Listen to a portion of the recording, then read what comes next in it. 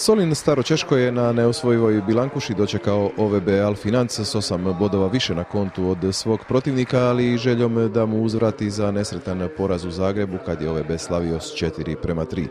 I jedni i drugi bili su oslabljeni domaćin bez Radmila Jurjevića, Dolića, Smolje i Perišića, no s povratnicima Juricom Alfirevićem i Josipom Lucićem gostima su nedostajali Lukić, Šagud i Brnić. Susret je počeo minutom šutnje za Milana Ivčevića Paju, legendarnog suca, trenera, organizatora turnira, uglavnom velikog zaljubljenika u mali nogomet koji nas je nažalost prerano napustio. Pokušao je Solin odmah doći do prednosti, Renato Koturović prvi je zaprijetio gostujućem vrataru.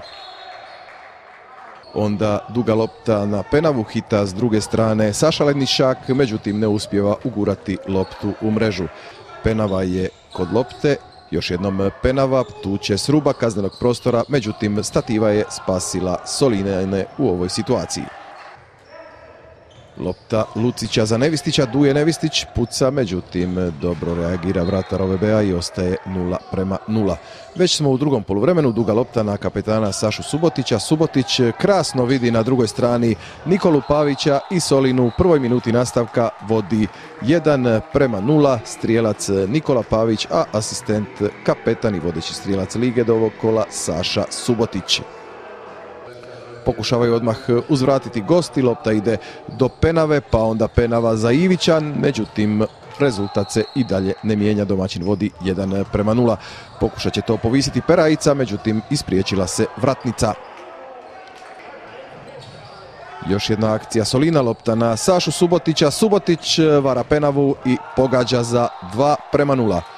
Saša Subotić, kapetan Solina, podvostručio je vodstvo svoje momčadi, nakon asistencije upisao i pogodak.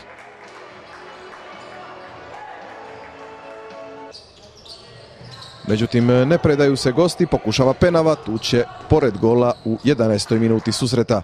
Potom još jedna lijepa prilika za Pavića, okrenuo je Penavu, ali nije pogodio vrata.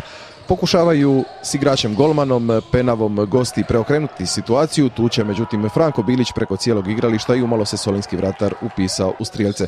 Posljednju priliku za goste, pola minute prije kraja, imao je iz akumulacije Hrvoje Penava, ali sjajna parada Franka Bilića i ostaje Solin Staro-Češko, OVB Alfinanc 2 prema 0. Solinjani skaču na treće mjesto, a OVB pada na desetu poziciju.